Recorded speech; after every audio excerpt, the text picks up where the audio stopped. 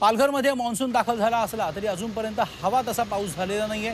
आज काही भागात पावसाच्या काही वेळ हलक्या सरी बरसल्या पण पावसाअभावी पेरण्या खोळंबल्यामुळे शेतकऱ्यांची चिंता वाढली. आहे बहिणाबाईंची जात्यावरची ओवी म्हणजे